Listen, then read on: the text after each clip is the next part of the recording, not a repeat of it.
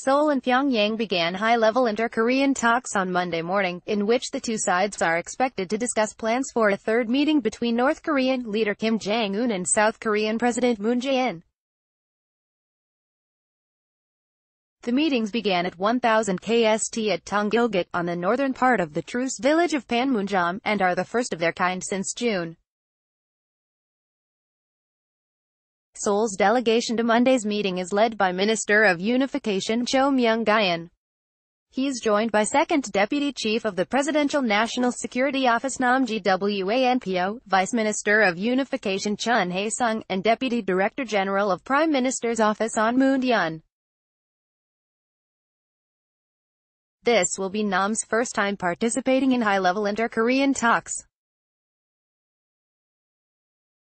The South Korean presidential spokesperson said he was the right person who is responsible for the related tasks at the Blue House and knows best about the denuclearization issue and the contents of the April 27 agreement.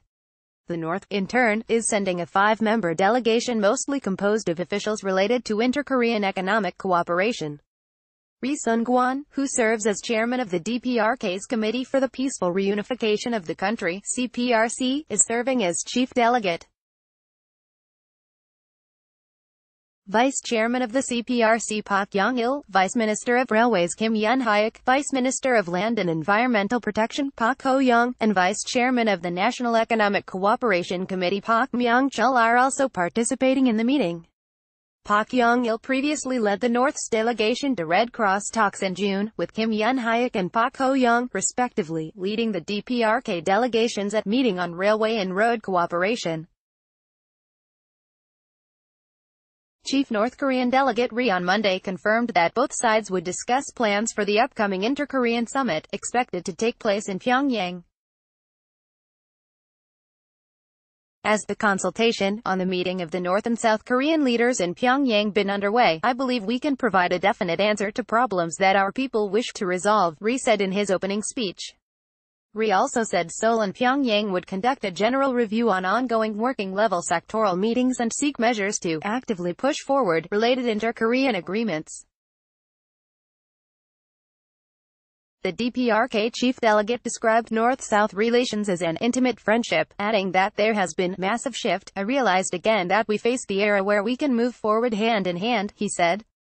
In his opening speech, Ri reiterated past calls for the meetings to be open to the media, explaining that the South Korean press had made errors in their coverage of talks because they don't know about the actual situation of the meeting. It's high time to change the culture of the meeting, Ri said.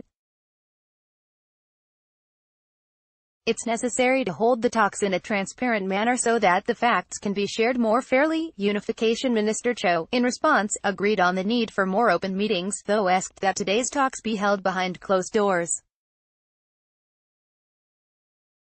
The talks are being led by the DPRK's Ri Sun-kwon, second from left, and the ROK's Cho Myoung-gyon, second from right. Photo, Ministry of Unification, speaking at a press conference before departing for the talks, the unification minister said both sides hope to use the meeting to review progress in the implementation of April's Panmunjom Declaration and discuss measures to continue that progress. Cho declined to say whether Seoul had proposed a date for the planned inter-Korean summit. I think it's too early to make mention of such details at the current stage, he told assembled media. A spokesperson for the Blue House on Sunday, however, said the presidential office expects both sides to reach an agreement on the time, place, and the scale of the delegation to North Korea at talks today.